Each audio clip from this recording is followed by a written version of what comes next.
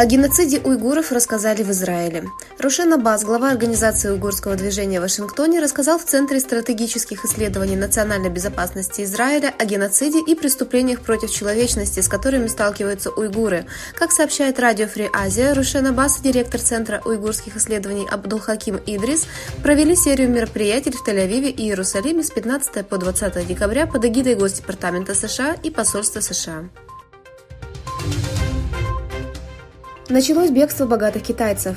Было замечено, что богатые граждане Китая спешат инвестировать за границу, чтобы избежать различных рисков, связанных с политическим или социальным давлением со стороны коммунистического режима. Согласно информации экономической повестки дня, китайцы, имеющие инвестиции в сфере отраслевых ресурсов страны, предпочитают покупать активы в США и других странах, чтобы сократить свое присутствие на местном рынке ценных бумаг. Ожидается, что эта тенденция ускорится в 2023 году. Италия прекратит совместные полицейские патрули с Китаем. Италия приостановила действие соглашения о совместных рейдах с китайской полицией из-за так называемых иностранных полицейских участков, которые Китай незаконно установил в Италии. В интервью, опубликованном 19 декабря, министр внутренних дел Италии Матео Пиантедози заявил, что выдача разрешений китайской полиции на участие в совместных патрулях прекратится, а сотрудничество будет осуществляться другими способами. США готовы помочь Китаю в борьбе со вспышкой коронавируса. Официальный представитель Госдепартамента США Нед Прайс заявил, что Вашингтон готов помочь Китаю бороться с коронавирусом, поскольку в сдерживании пандемии заинтересован весь мир. Ранее генеральный директор Всемирной организации здравоохранения Тедрос Адхам Гебриус заявил, что ВОЗ с тревогой оценивает рост числа случаев COVID-19 в Китае в последние месяцы.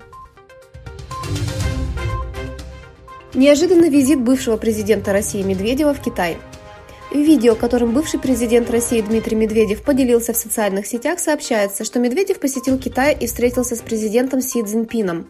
Медведев, который в настоящее время является заместителем председателя Совета безопасности России, отметил, что в ходе встречи обсудили стратегическое партнерство между Россией и Китаем и сотрудничество между двумя странами, а также кризис в Украине. Визит, о котором не объявляли заранее, совпал с днем начала учений военно-морских сил России и Китая. Военно-морское сотрудничество 2022 в Тихом океане. Президент Украины Зеленский находится в США. Президент Украины Владимир Зеленский, совершивший свой первый зарубежный визит с начала российско-украинской войны, прибыл в столицу США Вашингтон.